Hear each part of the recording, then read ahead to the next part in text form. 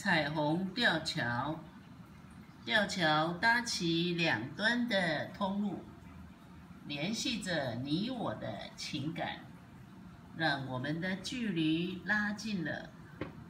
画中山中的彩虹吊桥，无声无息地徜徉在幽静的林间，绵密的绿意覆盖着这片土地。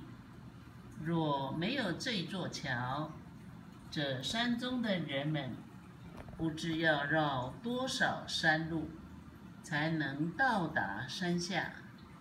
有了桥，让你我更接近了。